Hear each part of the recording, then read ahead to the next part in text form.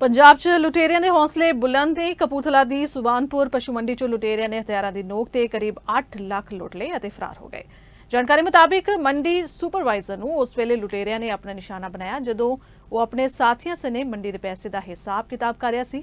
ਕਈ ਅਣਪਛਾਤੇ ਅਸਲੇ ਸਣੇ ਆਏ ਅਤੇ ਰੁਪਿਆਂ ਵਾਲੀ ਸੇਫ ਚੁੱਕ ਕੇ ਫਰਾਰ ਹੋ ਗਏ। ਘਟਨਾ ਤੋਂ ਬਾਅਦ ਪੁਲਿਸ ਨੇ ਮੁਸਤੈਦੀ ਵਰਦਿਆਂ ਵਾਰਦਾਤ ਵਿੱਚ ਵਰਤੀ ਸਕਾਰਪੀਓ ਗੱਡੀ ਬਰਾਮਦ ਕਰ ਲਈ ਹੈ ਜਦਕਿ ਲੁਟੇਰੇ ਹੱਥ ਨੇ ਲੱਗੇ, ਜਿਨ੍ਹਾਂ ਦੀ ਭਾਲ ਜਾਰੀ ਹੈ।